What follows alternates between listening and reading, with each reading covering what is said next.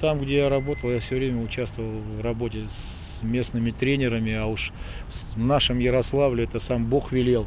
Э, скажу так, что ну, мы практи будем практиковать такую форму общения э, и с тренерским штабом встречаться, и проводить ну, хотя бы раз в месяц по одной тренировке с каждым возрастом, с участием и наших футболистов. Кроме ребят, приглашаемых из молодежного состава, вот из этого состава мы одного мальчишку пригласим, ну, чтобы провел несколько тренировок с командой.